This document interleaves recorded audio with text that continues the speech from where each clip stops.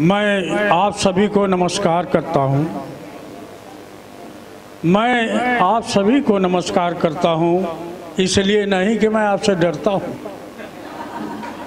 मैं आप सभी को नमस्कार करता हूँ, इसलिए कि मैं आदमी हूँ, आदमी से प्यार करता। आइए, मैं तो मूल रूप से भाई हास्य का कवि हूँ तो हास्य की कविताएँ सुनाता हूँ, और गीत पहले लिखता था मगर एक बार ऐसी हादसा हुई कि गीत लिखना हमको छोड़ना पड़ा।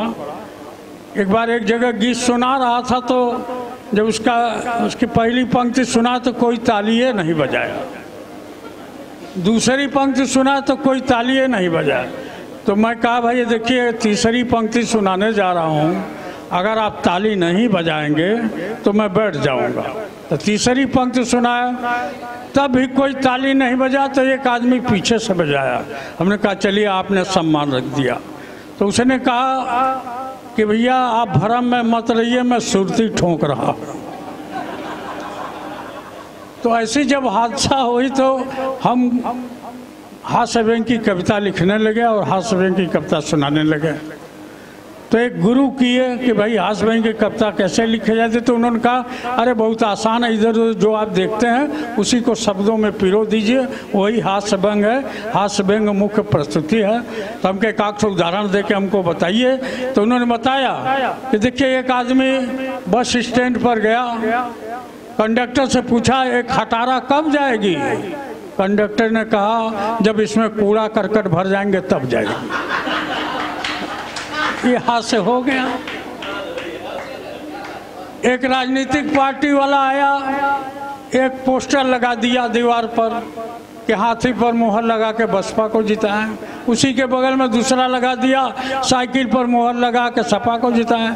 उसी के बगल में तीसरा लगा दिया कि कमल पर मोहर लगा करके भाजपा को जिताएँ। और उसी पर चौथा लगा दिया कि झाड़ू पर मोहर लगा के आपको जिताएँ।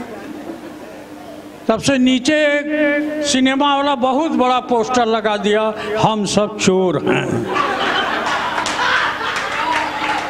ऐसे ही हंस की कविताएँ उपजती हैं एक आदमी जा रहा था, उसको ट्रक के पिछले हिस्से से धक्का लगा, हल्का सा। गिरते गिरते बचा सोचा उसका नंबर नोट कर लें। पीछे घूम के देखा तो उसके पीछे लिखा था, नमस्ते, फिर मिलेंगे। फिर आगे बढ़ा तो दो ट्रक आमने सामने भिड़ गए थे। दोनों ट्रक पर लिखा था, हम किसी से कम नहीं। आगे बढ़ा तो देखा कि एक मारुति पर एक ट्रक चढ़ी थी। और ट्रक के पीछे लिखा था, कभी तेरा दामन न छोड़ेंगे हम। फिर आगे बढ़ा तो एक ट्रक खड़ी थी। उसके पीछे एक टेंपो भीड़ करके चूर हो गई थी, चकनाचूर।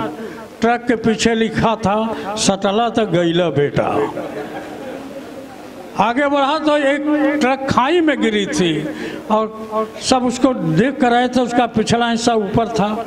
सब देखे तो उसके पीछे लिखा था, हम सुनहरे कल की ओर बढ़ रहे हैं। ऐसे हास की कविताएँ उपजती हैं। आइए मैं आपको हास की कविताएँ सुना यहाँ तो बहुत लोग हैं। हम लोग तो जब अंत में नंबर आता तो दस दस लोग केवल मिलते हैं। तो हम हम जो कभी हास्य बैंक के होते हैं, इसकी चिंता नहीं करते हैं। इसलिए कि हम लोग, हमारा खास करके मानना है कि सौ ठो दूहर सौ ठो सुअर दूहने के अपेक्षा ठो भैंस दू लीजिए। तो वो अच्छा है कि चार ही लोग हैं, कम से कम जानदार श्रोता हैं। आइए, आपको एक हास्य की कविता सुना रहा हूँ। आप सबका ध्यान चाहूँगा। देखिए, आजकल बाबाओं का युग चला है। बाबा लोग कैसे प्रचार करते हैं, मैं उसी पर कविता सुना रहा हूँ। एक साधु बाबा अपने चेले के, चेलों के साथ चले जा रहे थे सरसी सरसा लिए। एक आदमी पूछा चेला से कि भाई, ये कौन है कि हमारे गुरु हैं? कि तो देख रहे हैं। कि, कैसे हैं? क्या बहुत पहुँचे हुए हैं। क्या पहुँचे हुए हैं? कि हाँ। कितनी उम्र होगी? देखिए, कैसे प्रचार कर चेला करा पाँच सौ साल। तो कहे कहे, अरे, पाँच सौ साल इसकी उम्र? तुम तुम कब से इनको जानते हो? कि दो साल, दो सौ साल से तो हम ही जानते हैं। ऐसे प्रचार करते हैं और ऐसे ही ऐसे आसाराम निकल जाते हैं। तो आइए आसाराम पर मैं आपको कविता सुना रहा हूँ। एक कविता सुनिए आसाराम पर हास्य व्यंग की है। कि जे हल में रोई रोई कहें आसाराम हो कि लागता अब ज़िंदगी का। हो यही शाम हो कि लागता अब ज़िंदगी का। बहुत दिन डूब डूब पानी हम पियली। जानत नाही रहली कि अटक जाई टेंगरी। सांसत में पड़ गयल अब मोर प्राण हो कि लागत आय ज़िंदगी का होई यही शाम हो अब तक कानून का सहात नहीं खूंटी। पहले तो घूसल, फिर भीतर गयल टूटी। अब ससुरा निकले क, ले तो नहीं नाम हो, कि लागता अब ज़िंदगी का, होई यही शाम हो। एक ठे राम मोर पूरा कर दे तन मनौती कौनो बहाने, राधे माँ भी यहाँ औती तो चेला बनाई उनके सलटाए ले इत काम हो कि, लागता अब ज़िंदगी का। रामो रहीम सरवा, बनल रहल एक टर।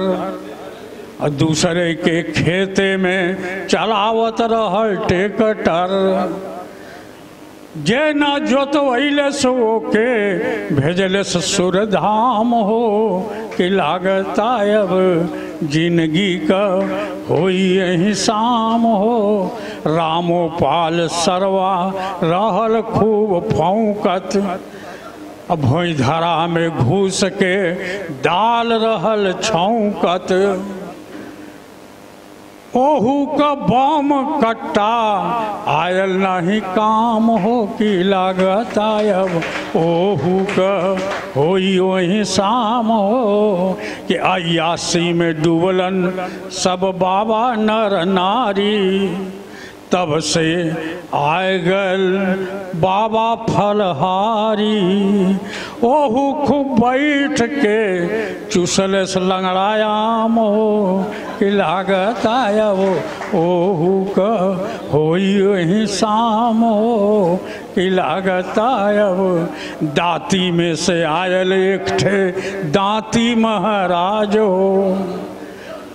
तेईस बरिस से करत रहल वो राज। हो अपने ही सेविका पर नियत कैलस खाम हो कि लागत अब का होई वही शाम हो तब से प्रगट भल हेलीकॉप्टर बाबा। येहू फैलौले हुए, खूब आबा काबा। येहू का सुबह से येहू के खेत का नापी होता सुबह शाम हो कि लागता। अब बहुत खुशी की बात है यहाँ, महिलाएँ हैं कई कई महिलाएँ नहीं होती तो मैं पुरुषों से कहता हूँ कि घर जाके बताइए। देखिए, किसी कविता को लिखने का उद्देश्य होता है उससे शिक्षा भी मिले, कि कि ध्यान से सुना, बहु बेटी भाऊ जाई। मौके पर काम आई हैं तो हरे जवाई। बबवन के अंगुरी देबू पहुँचा ले हैं, थाम हो कि लागता है अब। और अंतिम पंक्तियाँ कि कमल कहें कि सुना भाई ओ भतीजा, बबवन के मिलल हुए अयासी का बीजा। बबवन के मिलल हवे अयासी कबीजा तराम से ही नाता रखा। मत बनाया सराम के। धन्यवाद बहुत बहुत धन्यवाद।